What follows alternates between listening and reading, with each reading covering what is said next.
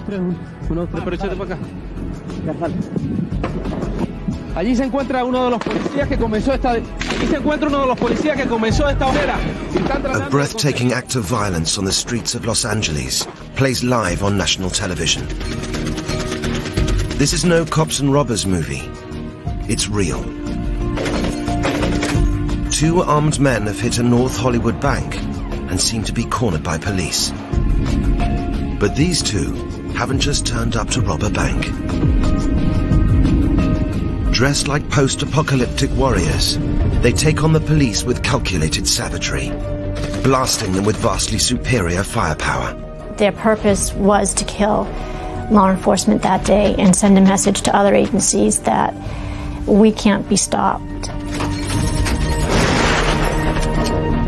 The hour of the North Hollywood shootout would convulse America. The sight of two paramilitary-style gunmen declaring war on a suburban street would raise the bar for criminal violence and ratchet up the climate of fear. For the gunmen themselves, this is the hour to act out their twisted take on the American dream. Larry Phillips Jr. and Emil Matasareanu seek instant wealth and fame live on the morning news.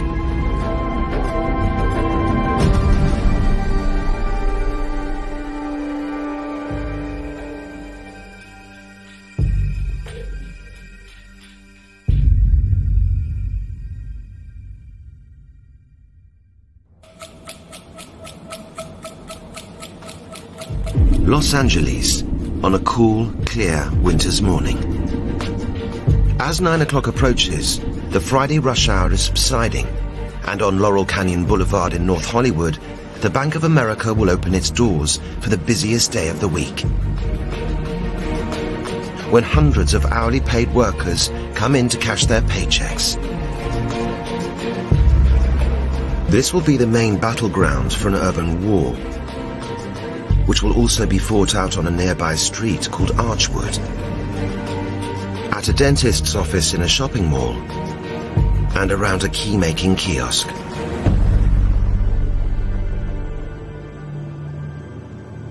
A house deep in the suburbs of LA. Inside are two out-of-work misfits, who within the next hour will achieve international notoriety. Strewn around the house are automatic rifles, ammunition, hundreds of thousands of dollars in cash, and copies of the movie Heat, which famously portrays a violent bank robbery that spills onto the streets of Los Angeles and turns into a running gun battle with the police.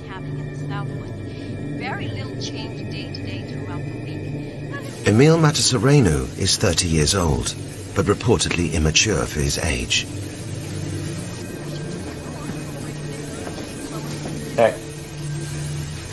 Pills. He's a loner whose one good friend has not been well chosen, Larry Phillips Jr. Phillips, who's 26, is a skilled conman and the son of a small-time crook from Denver. On the morning of February the 27th, both are known to have taken phenobarbital, an epilepsy drug that interferes with nerve signals to the brain and slows body movement.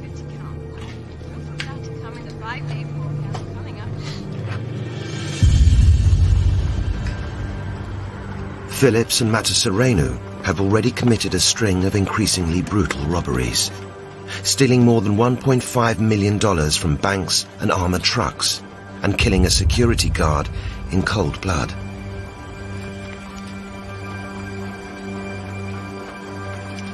The robbers have always used the same method of attack. Assault rifles, black paramilitary outfits, and no hesitation in resorting to extreme violence.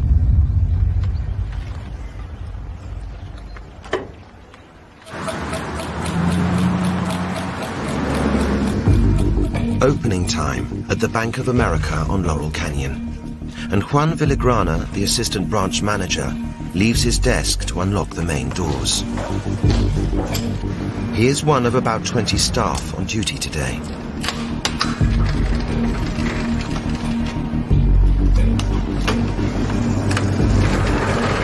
Good morning. Come on in. On Friday mornings, bank employees are on heightened alert. It's a bank robber's favorite time to strike because the safes are usually filled with extra payday cash.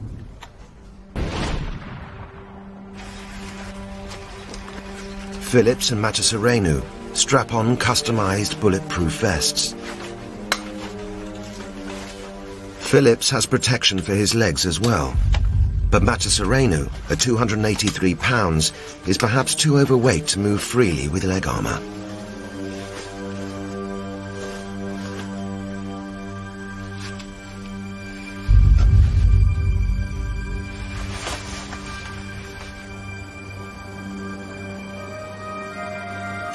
The body armor weighs less than the chips on their shoulders. Both have been in trouble with the law.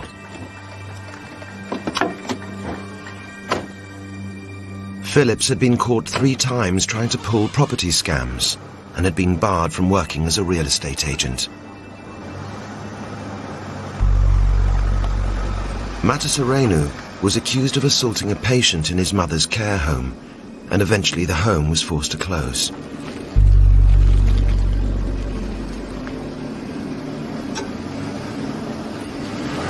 Both men believe the authorities are out to get them. Shaking down banks must seem a perfect career choice for two outcasts obsessed with money and powerful weapons. And a hatred for cops. 11825, code 6, 105 North Avenue 52. They now head for a confrontation that both are determined to win, whatever the cost. On Laurel Canyon, the Bank of America is serving its first customers. Security guards keep a watchful eye for any signs of trouble. With cash reserves at their highest, the hour after opening on Fridays can be the most dangerous time. In a shopping mall across the street from the bank, dentist Jorge Montes is getting ready for his first patients. He thinks it's going to be a quiet day. His appointment book is only half full.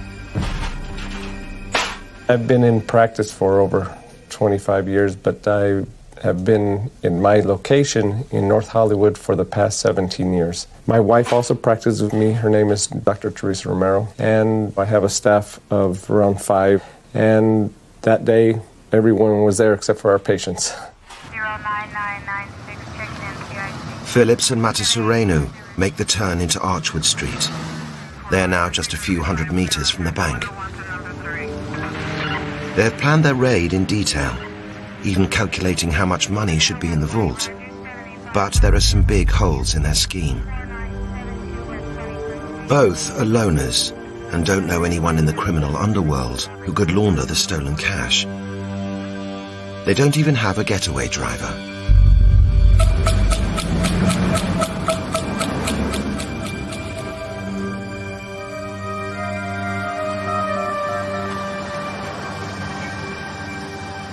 The robber's aging car arrives at the bank's north parking lot.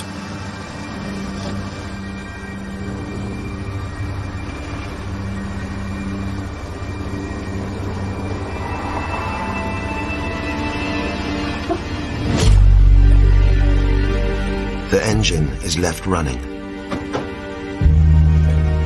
If they were interested in stealing cash and making a quick escape, they could do it with little more than a couple of pistols.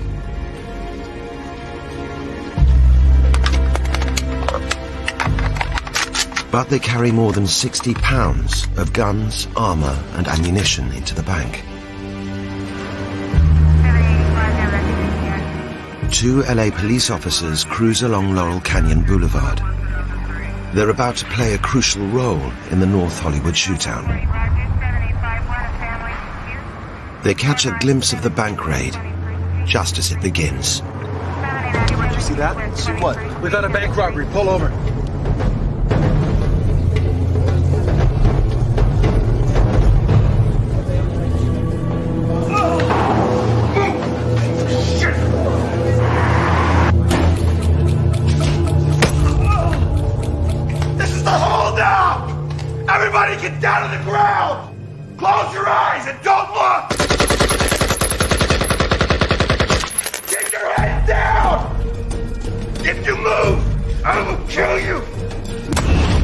Serenu strikes 79-year-old Mildred Nolte over the head. You don't want to die, get all the way down He then threatens another bank customer, Javier Orozco. 43 requesting assistance. We got a possible 211. In progress at the Bank of America. We were in a police car out on the street, and they heard these shots being fired inside a closed bank. That's how loud they were.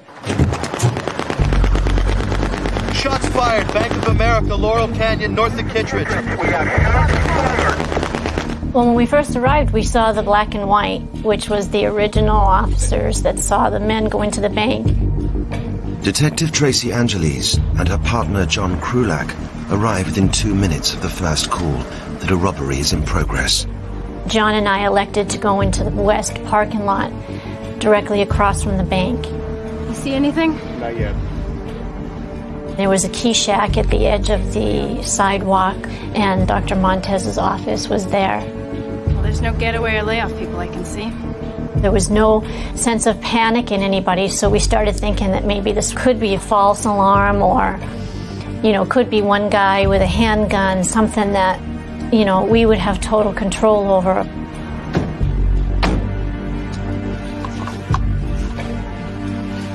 Inside the bank, Matasareanu threatens a security guard. If you move, I'll kill you. When I tell you, I want you to move all these people into the vault. You got it!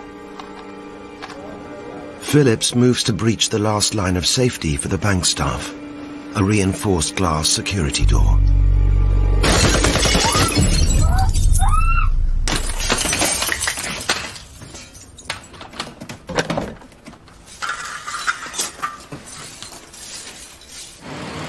Sergeant Larry Dean Haynes stops his car just north of the bank.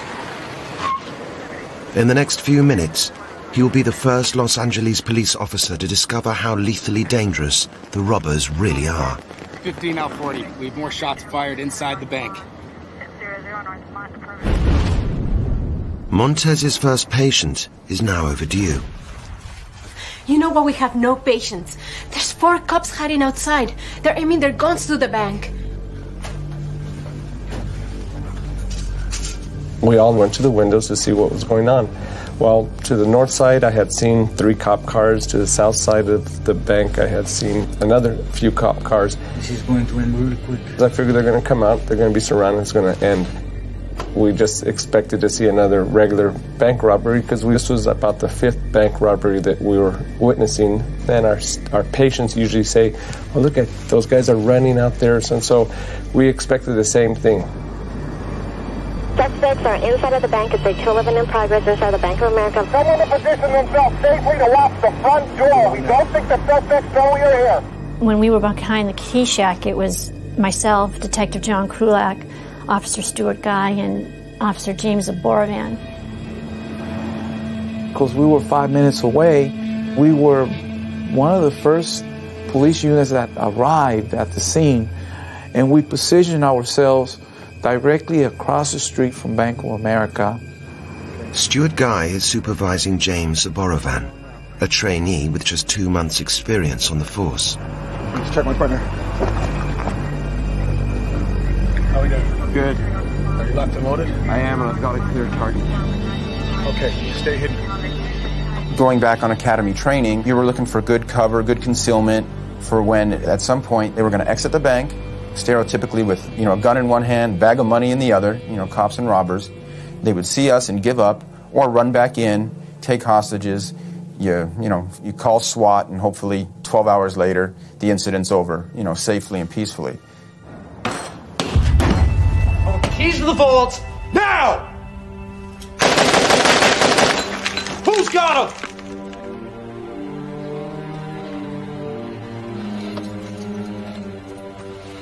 Oh, open it! It, it takes two keys. What? It takes two keys. Who's got the other one? the manager. Get him! Mary. Move, move! Give it to him! Now! Go! Get! Open up now! Oh! Do it!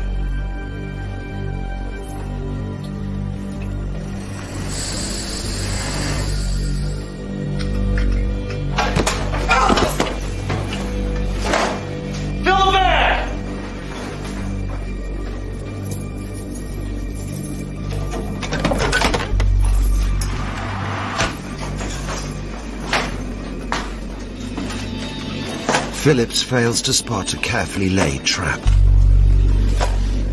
Hidden among the cash is a small explosive pack. Come on! It's designed to spray a blue dye over the banknotes if they're stolen, rendering them worthless. Faster! Faster! Phillips expects to get his hands on more than $800,000 in cash, but the bank had recently cut back on the money it holds in its vaults. And when only found three to four hundred thousand, they were quite upset.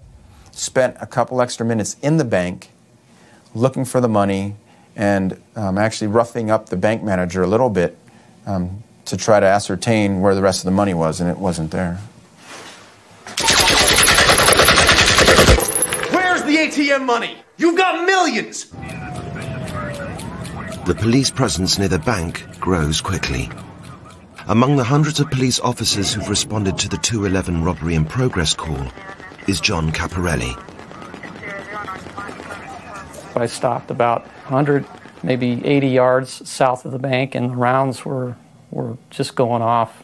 It was uh, louder than I'd ever heard. He heads off to confront the gunman, armed with just his standard issue pistol.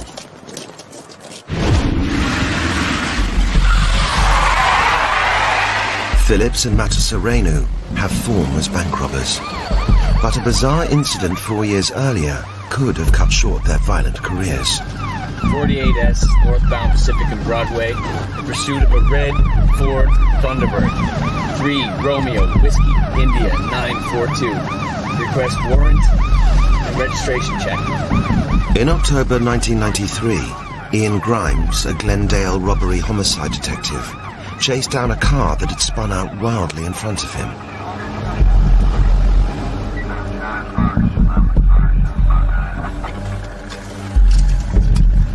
He was about to make a startling discovery.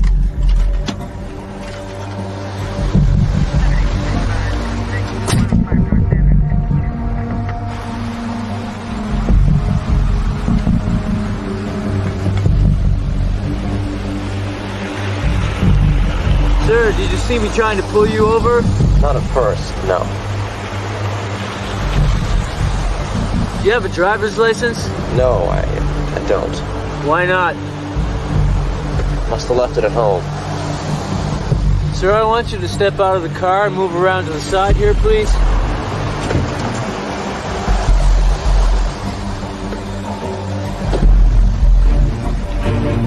What's your name, sir? John Doe. Name's John Doe. This your car, Mr. Doe?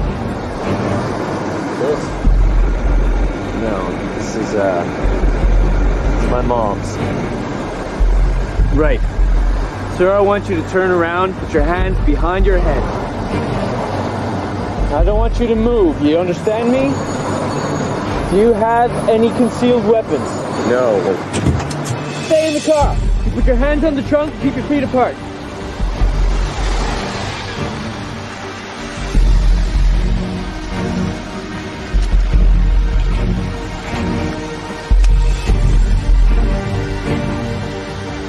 In the trunk of the car, police recovered a complete bank robbery kit, including semi-automatic guns, ammunition, gas masks and disguises.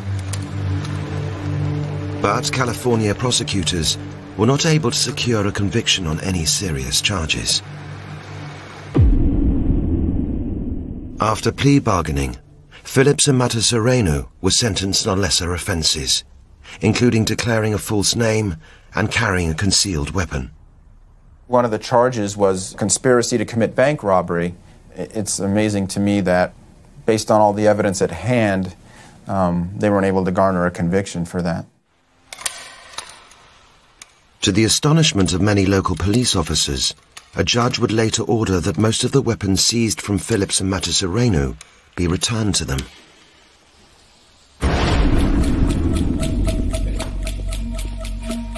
Security! Yeah! Move! Go! Get up! What are you waiting for? Go! Go! Get it, go! What are you doing still back there? Let's go! Move! You two! Move! Move! Move it! Let's go! Eight minutes after they'd burst into the bank, the two gunmen are ready to leave. Staff and customers are forced into the vault. Fortunately for them, Matasareanu does not push the airtight door completely shut. Be advised, I think somebody just came out of the Bank America. Phillips, meanwhile, steps outside. What the hell is that? Eugene Phillips exited the bank and walked down the steps and onto the sidewalk. Dressed in all black, and all you could see was, you know, the eyes uh, cut out around his face. If Phillips is surprised by the growing police presence, he doesn't show it and calmly walks back inside the bank.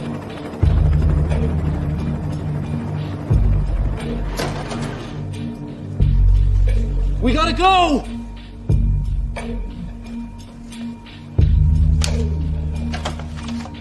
Phillips reloads. The Battle of Laurel Canyon is about to begin. Larry Phillips Jr. walks out of the bank and transforms a routine robbery into a devastating assault on the Los Angeles police.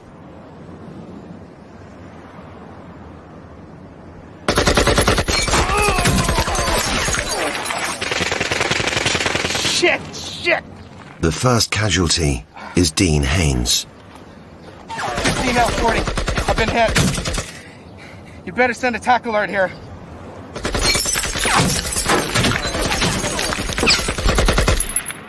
We've got several civilians hit also.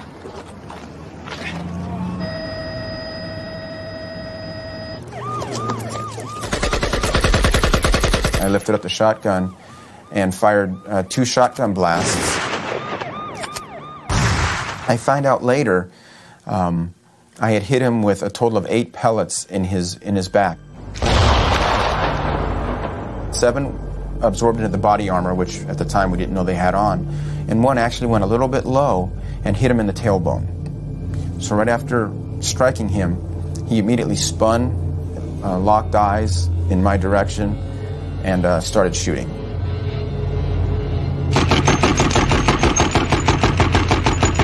Grabbed me by the front of my shirt and he said, hit the ground. He threw me on the ground and got on top of me. And that's when I knew that we probably were in a lot more trouble than we realized. The bullets were going through the little the little key shack, going through the, the metal machinery inside there, and exiting the back. Two of which, um, at that time, struck me. Um, one in the lower back, one in the hip that uh, exited my butt cheek. we realized that, hey, we're no contest. We, we, we cannot compete against AK 47s. The, the, uh, the rounds, the bullets were literally just hitting everywhere. The, the cars, the kiosks, it, it, it was just like raindrops. Except these raindrops were raindrops of death. As they're shooting, I stayed watching because I thought the gunmen are not going to shoot at the second floor. They're going to be shooting level. That's the only reason I stayed there. Now, Dr. Romero, she was more safety conscious, so she starts telling all my assistants and myself, get away from the windows, get back, get back. There were things that you thought, is it a movie? Is, is it something that's not real? You don't expect it until you start seeing blood coming from the officers. That's when I, I realized This is something that we're we're in the way of these guns. So when the bullets would hit our building, we would duck for cover.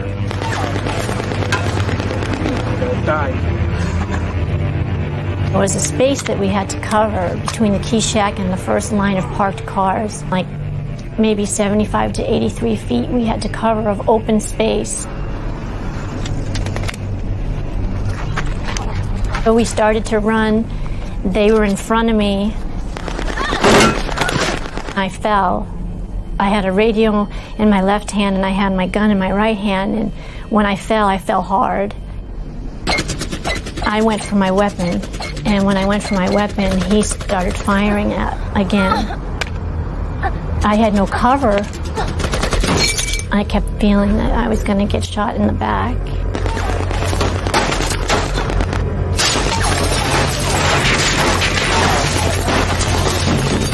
I can remember thinking that I didn't want to die in that parking lot.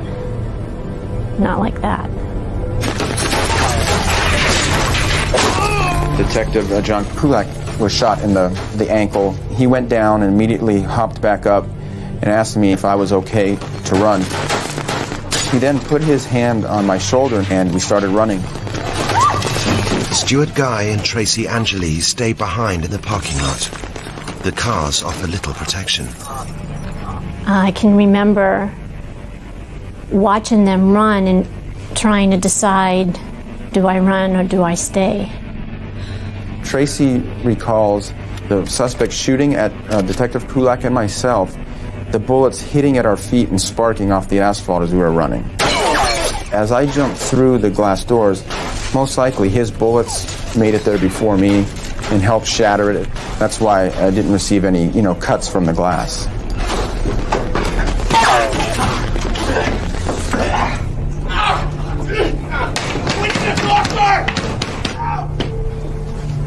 Detective Krulak and myself laid down on the dentist floor right at the doorway so we could look down the stairs in case the suspects decided to walk across the street towards us.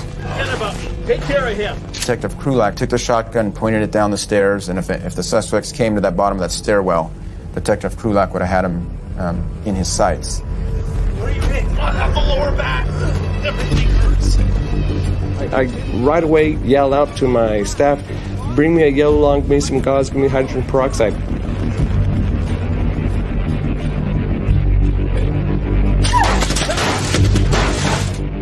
Is a noise that you will never ever forget. It's deafening um, due to the close proximity of us and the shooters. You could taste the, I want to say gunpowder. I'm not sure if that's the appropriate taste that I was tasting, but it was a metallic, powdery, awful burnt taste.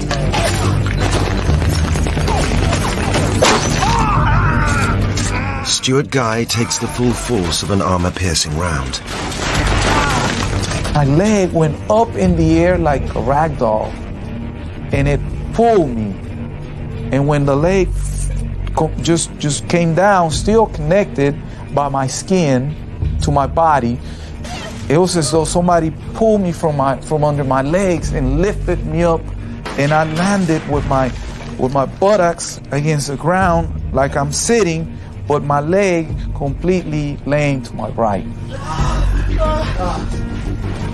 When I finally find this gushing of, of blood coming out, the gash was about seven inches. It's about two inches wide, about two inches deep. And I just ripped open the shirt, and you could see this blood just starting to come out.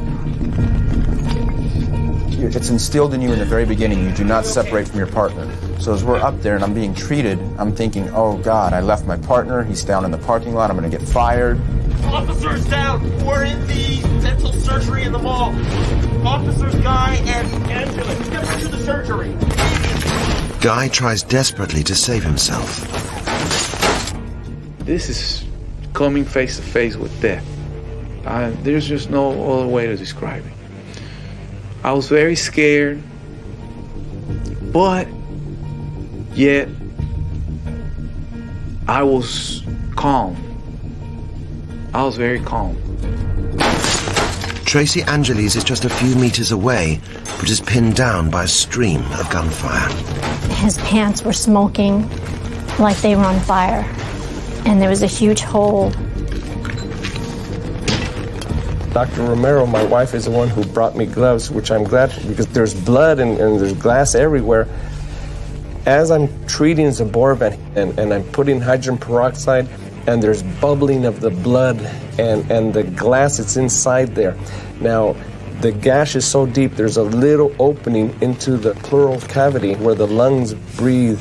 And so you can hear the, the kind of sound and the regurgitation. So I'm sticking my finger into this space just so it doesn't get into that area. I took off my big gun belt and I applied a tourniquet on my leg. I was pulling on, on that belt as, as I put on the tourniquet to slow down the bleeding, my gun in my left hand and praying with my tongue. So I was like this the whole time.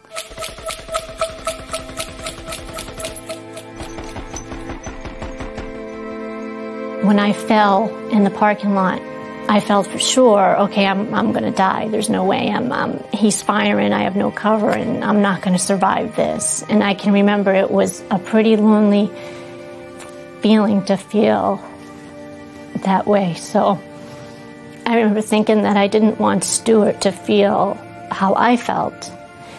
No human being should ever feel that lonely.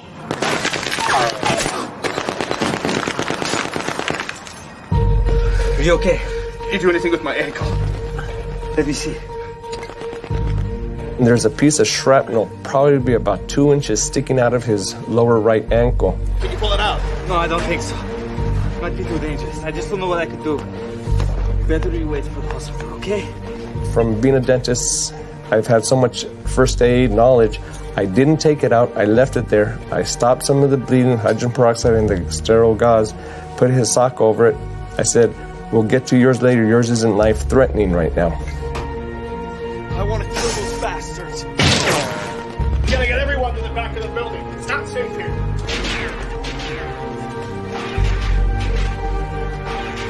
Still bleeding heavily, the injured men are led to a storeroom at the back of the dentist surgery. The actions of Montes and the dental surgery staff have probably saved the officers' lives.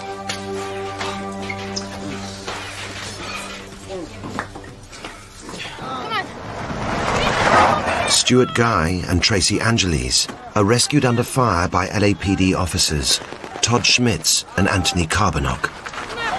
We resorted to the training they provided us on how to do an officer rescue, and I got the bad leg. He was laying in a supine position, so we could not close the back door because the leg was out. It was hanging out of the door. We took gunfire again, and one of the tires blew. So when we got around the corner of the building and we knew we were safe, I had to close the back door because it was swinging and we were afraid it was going to hit the leg and damage the leg some more. So um, we had no choice but to tuck the leg into the car. The robbers have stolen $303,000, half a million less than they'd expected.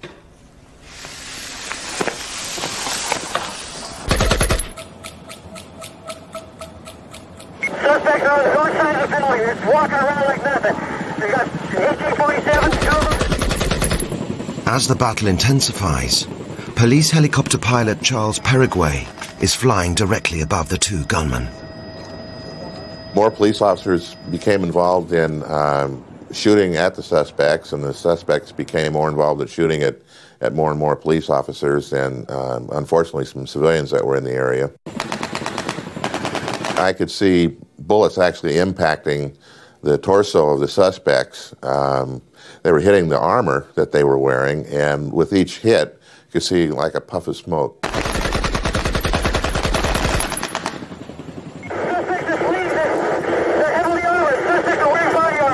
They had some self-discipline about themselves. They were on some narcotics, but uh, to be in the middle of a gunfight like that and not to be running about was very unusual. Phillips and Matasareanu head towards the getaway car, its engine still running in the bank's north parking lot.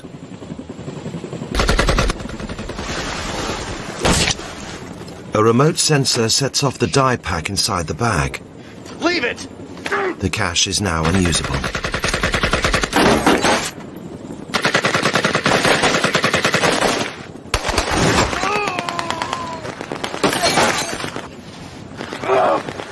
Matasareanu is peppered with gunshot to his unprotected right leg.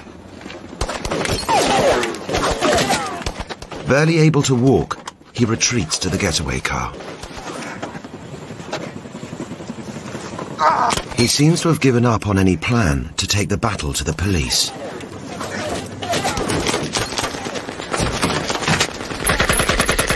Phillips has other ideas. Almost immediately, he takes a gunshot to his left wrist. But he seems merely to intensify the attack. And I mean, we had to stop these guys. That's all I was thinking about is, you know, you just got to get in there. John Caprarelli is among a small group of officers who get within 10 meters of the gunman. The AK-47 rounds just went through that wall like it wasn't even there. And we kind of regrouped at that point. Caprarelli retreats and runs to what he thinks will be a more secure position on Archwood Street. They're moving the car. Yeah, on the other side of that van. The gunmen make their first move to escape. Matasareanu, driving the car, appears at one point to implore Phillips to get in. But Phillips seems still to relish the confrontation. He switches to a high-powered Heckler & Koch rifle, a weapon well suited to attacking the police and news helicopters that now swarm above him. It was something I've had happen to me before. Uh, a combat veteran from Vietnam flying Marine Corps helicopters, so uh, it wasn't a new experience, but it certainly was not one that I enjoyed uh, suffering through. But we, we stayed.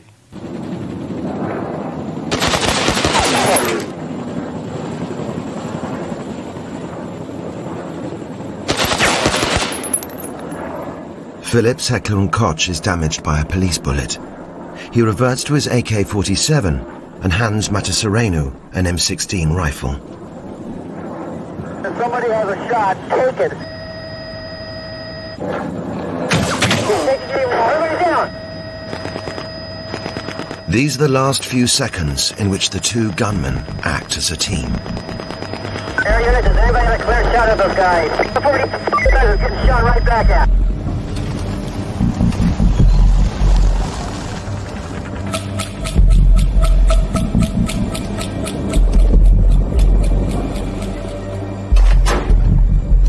As they moved out of the parking lot, Phillips had at least two different jams in his weapon, and he stopped to clear those jams. I don't think Montesreno understood what was happening in that regard, that his partner was not staying abreast of him. We've got one suspect on foot. The suspect on foot is behind a long uh, trailer rig. 15 L10, at this point the ball game is with SWAT and the suspects. If the suspects move, make sure the air unit, there's no officers that should try to stop these suspects. Now, behind a car in Archwood Street, John Caprarelli yet again finds he's in the line of fire. I knew these guys were getting shot at, but they just kept going. I looked to my left, and it looked to me he was still firing at officers. I was thinking, I'm going to stop this guy finally. Here's my chance. I ran to that corner. I stopped at the corner and I fired six rounds, and they didn't do anything. Uh, I knew some of them hit him, but he just slowly turned with the AK 47 in his hands. And I turned. That fire hydrant was in the way. It was like I'm going right over it. And somewhere in there, his gun jammed. You know, it's just, it's, it's, a miracle. Uh, it gave me those seconds somewhere in there to be able to get across the street and, and get some cover. Matasareanu, meanwhile, struggles with an almost undrivable getaway car. He makes several attempts to hijack another vehicle. Remarkably, civilian cars are still driving by. We made several mistakes during this incident, and I think probably one of them that uh, we all acknowledge was uh, we didn't cordon off the area maybe as good as we could have. But having said that, um, it would have taken a lot of police cars just to barricade intersections. And uh, a lot of people, I believe, were just getting out of their house, getting in their car, and driving to the market or wherever they were going. So they probably would have been inside any cordoned off area that we would have created. I'm not making that as an excuse, it's just the situation.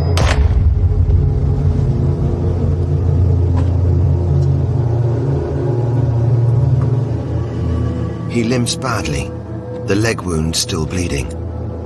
He has none of Phillips's determination to fight and is focused only on a desperate search for some way to escape.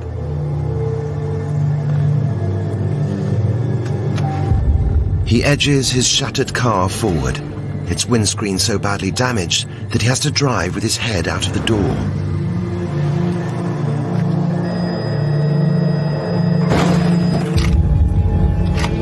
Phillips abandons his AK-47 and prepares to make his last stand. Once again, John Caprarelli decides to confront him. He started coming out without the AK, and I didn't really get a, a long look. But eventually, he did produce the 9 millimeter. I fired several rounds. I went back for cover. Then I came back out. After reloading and didn't realize that he had walked up closer. And now he was just from one corner to the next.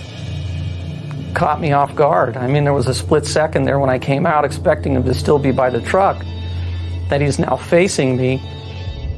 And I saw the gun, the arm, his, his eyes all lined up. And he fired a couple rounds, just dove out of the way, and luckily the rounds went into the car. We were all firing now from behind the car at him. When he fired those last two rounds at me, somebody there hit his hand. That was it for him. He basically said, This is it. I'm done. And that's when he, he picked it up and put it under his chin. And uh, he put a round in himself as we were, you know, just peppering him.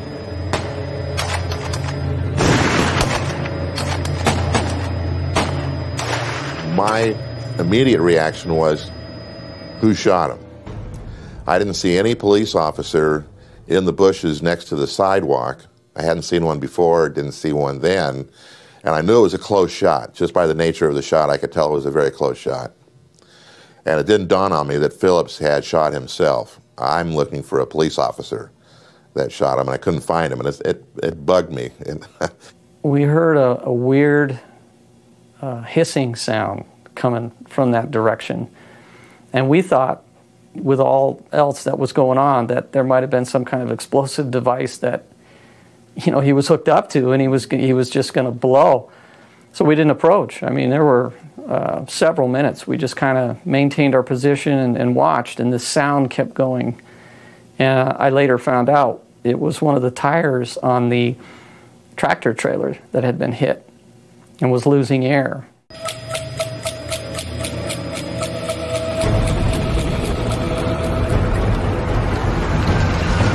With Matasareanu still attempting to drive away along Archwood, SWAT officers Rick Massa, Steve Gomez, and Don Anderson arrive at a police cordon. They pull out bulletproof armor and their M16 rifles. For the first time since the shooting began, the police will have firepower that can match the opposition. Okay, guys, AK-47s are armor-piercing bullets. Keep your cover. Gomez, you go wide to the front of the car. Anderson, you take the back with me. The SWAT team is now racing towards a duel with Emil Matasareanu. Larry Phillips Jr. is the first fatality of the Hollywood shootout. Among the first to reach him is John Caprarelli we slowly approached. And uh, when we got up to him, uh, there were three or four of us. You know, we turned him over and we handcuffed him. We took the ski mask off, and he was obviously dead at that time. Just hit me. This is the guy. This is the guy that I've been listening to for 45 minutes. Further along Archwood, Emil Matasareanu finally succeeds in hijacking another getaway vehicle. He fires several rounds at a 1961 Jeep pickup truck. Its driver, William Marr, sprints away from danger. Just took a citizen's vehicle. It looks like a brown truck. It's going facing on westbound right now on Archwood. Suspect took a citizen vehicle in a brown truck west. Matasareanu frantically moves his weapons and ammunition to the Jeep. Step five. Shots at step five.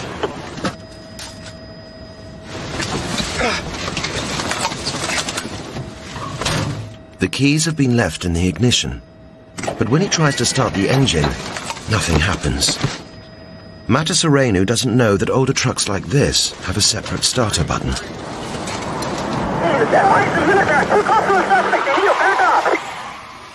That unit is a Metro unit, ma'am, and they're engaging the suspect. They're not able to back off. Matasareanu retreats to the back of the car and loses his opportunity to get a clear shot at the SWAT officers.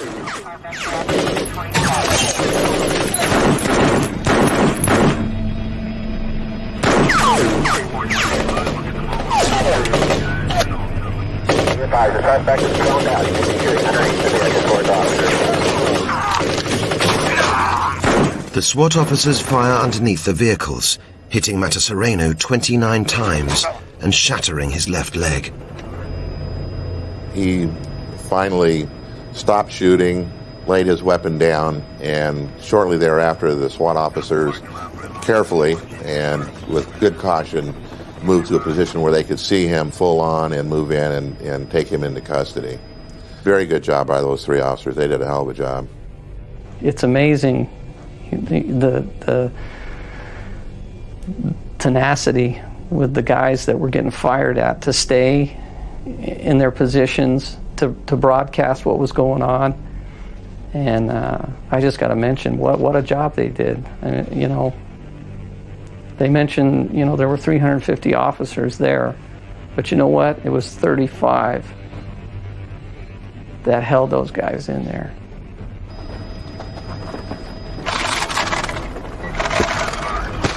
Don't move!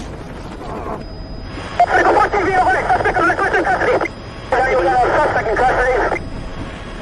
The suspect on Archwood is in custody. Archwood between Radford and Hines.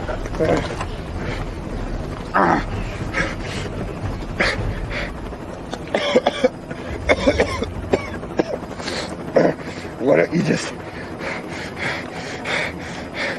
put a bullet in my head? Those, those two suspects are in custody. Metro has one in custody and North Hollywood has the other one in custody. Two of the suspects still in the command post. The ones that are in custody, Matasareanu will die at the scene, slowly bleeding to death from multiple gunshot wounds. The only fatalities in the North Hollywood shootout were Larry Phillips Jr. and Emil Matasareanu. But the casualty figures could have been much worse.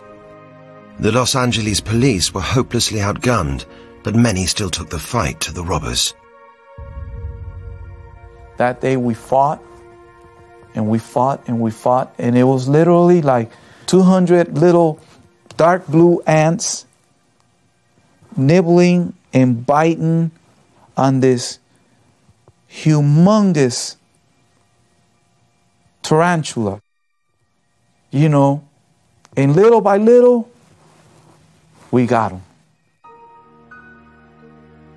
them. Eleven police officers and seven civilians were wounded. But the damage went beyond physical injuries. There was a lot of, lot of stress, a lot of stress. Um, I was waking up every night, one, one thirty every night, and going back and reliving, you know, what was happening and wondering, you know, why did that gun jam? What if it hadn't? You know, And what if I had just gotten one of those rounds, you know, that, that went past the body armor? I could have stopped it sooner. Just over and over and over again. You think about that.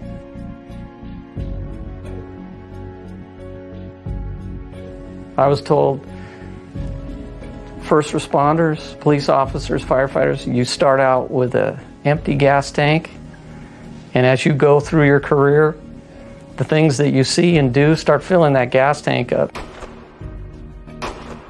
Yeah, there were three guys that I used to work with took their own lives.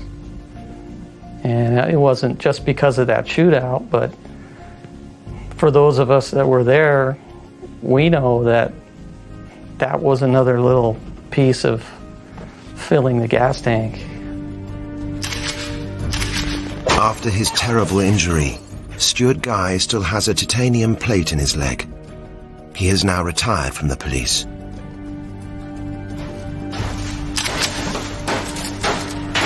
Detective Tracy Angeles and Officer James Zboravan still serve in the Los Angeles Police Department.